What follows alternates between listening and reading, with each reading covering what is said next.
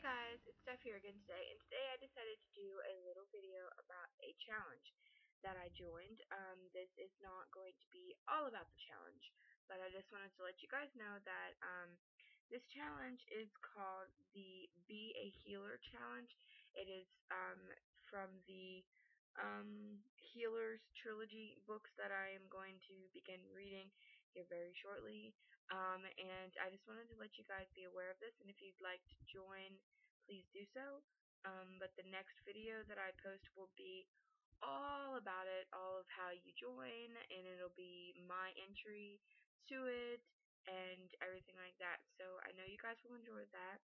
But I just wanted to say hey guys, and I know you guys haven't seen me, actually me, for a while.